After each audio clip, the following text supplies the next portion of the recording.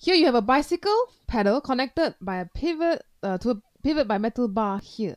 So you got a force pushing down on the bicycle pedal and that will cause the whole bicycle pedal to turn clockwise.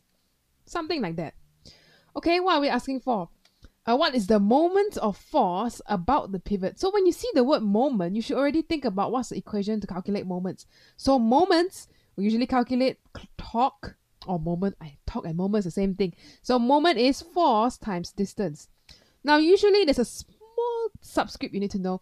It's either perpendicular force times distance or uh, force times perpendicular distance. And depending on the situation, either equation may be a little bit simpler for us to use. For this question, it is easier to use this one. And we'll see why in a bit.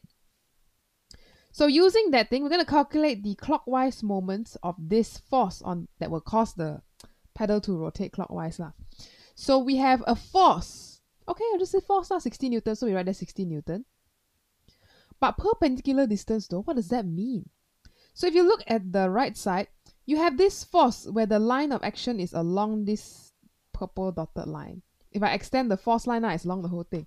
Now this line will have some perpendicular distance to the pivot. And this is this number, the perpendicular. So this method is the simplest and fastest way to do this question. And so we're going to do right that. So there, the perpendicular distance between the force's line of action. Oh, I should label that, huh?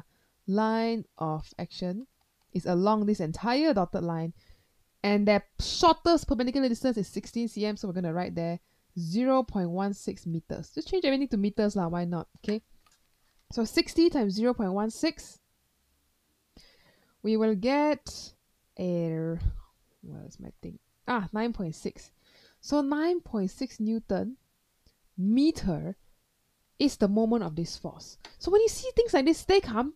Think about which, what, what am I going to use? Force, perpendicular distance, or otherwise? Because you see, if you want to resolve this force to be perpendicular force, you have to resolve it to be this direction because it's perpendicular. But that is really troublesome because you have to deal with angles and we don't know any angles here. So let's just deal with distances. So rule of thumb is if you don't know angles, it's probably better to do this D perpendicular. If you do know angles, you can use either one. But no angles, probably have to use a second second type. Okay, so that's all for this question. I will see you in the next one.